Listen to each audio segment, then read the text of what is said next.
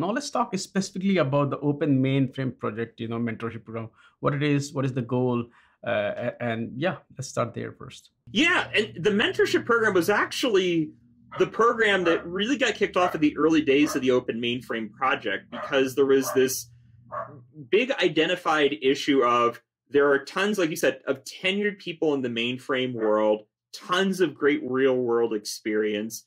But these people were towards the back end of their careers, and there wasn't as many people coming into newer mainframe jobs. Um, you know, we saw them going to cloud, web dev, other technologies that might be a little bit more flashy, but they were not as much going into mainframe. And so the question was, why is that? How can we help bring more of these students in? And there have been a lot of different attempts at this over time, but another thing that the mainframe community saw was the future for them was going towards open source.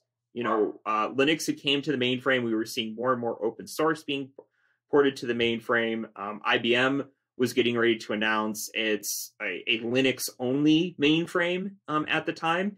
And so the thought was, could the working in open source, where we see more and more students, that sort of skill set that the tenured track maybe doesn't have as much experience with, but more students have more experience, could we pair that interest back with the tenured interest, eh, the knowledge in the mainframe space that the students don't have, but the other, you know, the more tenured folks have.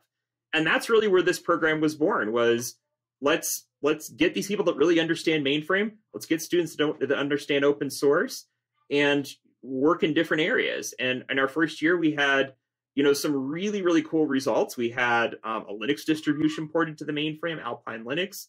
We had contributions upstream to um, various open source projects, and it it did a couple of really interesting things out of the first year. I mean, one, it it showed students that there was job opportunities. And matter of fact, out of that first class, I think we have a handful of people that either were employed in mainframe right then after their mentorship or soon thereafter.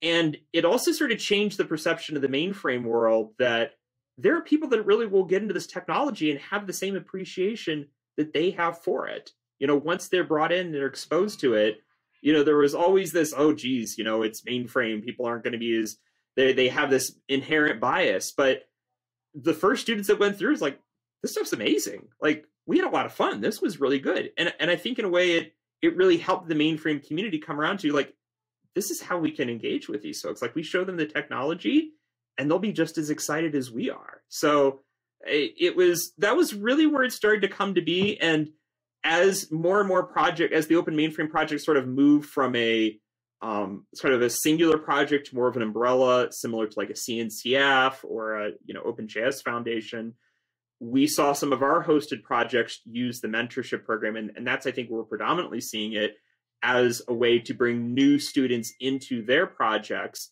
which are also bringing new students into the mainframe world, but they're rooted in our project's technologies, which is helping set forward their workforce going forward.